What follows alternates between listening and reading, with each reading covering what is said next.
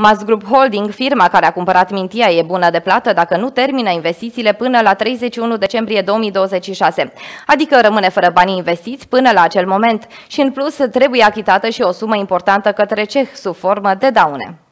Totul este stipulat în caietul de sarcini care a stat la baza licitației în urma căreia a fost vândută termocentrala Mintia. În măsura în care noul proprietar nu își va respecta obligațiile asumate în termenul stabilit sau până la finalizarea proiectului, sancțiunea va fi pierderea calității de proprietar și a sumelor deja investite și plata sumei reprezentând jumătate din prețul de adjudecare, fără TVA, cu titlul de daune interese către complexul energetic Hunedoara, a declarat administratorul judiciar citat de Gazeta de dimineață.